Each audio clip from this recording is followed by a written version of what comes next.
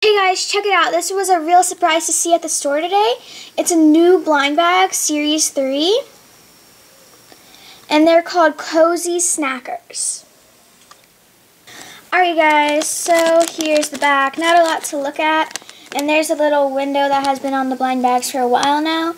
Um, you can like look in the little hole to see what pet you might get, but I just like to open them and, and just get what I get. So let's open them.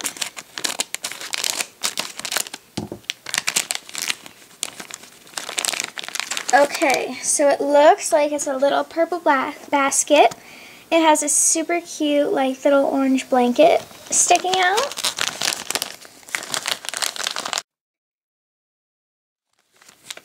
Here is a little card with all of the pets.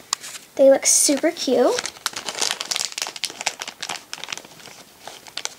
Here's the little deco bit. It looks like it's a little ant. So this must be like a little picnic basket.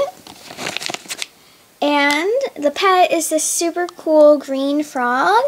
And it has like these blue, like kind of like tiger stripes on its head.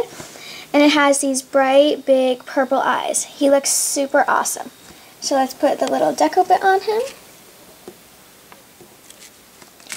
he looks super cool and it says he is number 3977.